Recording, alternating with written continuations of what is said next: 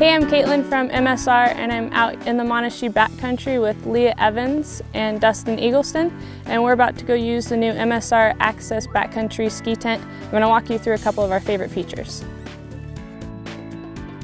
After two nights in this tent, it's totally changed the way that I can plan trips. I feel like it's offered me a whole new world of experiencing the backcountry. The fly on the tent is made out of 20D ripstop nylon and offers cold weather protection for the kind of conditions you'd expect to experience at treeline. The large vestibules offer enough space for two people to comfortably put on boots and gear and store backpacks and keep your gear protected.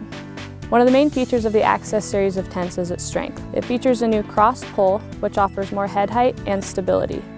The new Easton Cyclone poles are made of a composite material which is about as lightweight as aluminum and offer the same strength benefits as carbon fiber.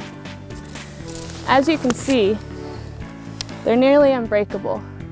It can withstand about 27 pounds of snow loading, which is great in case weather is to roll in overnight. This tent is your golden ticket.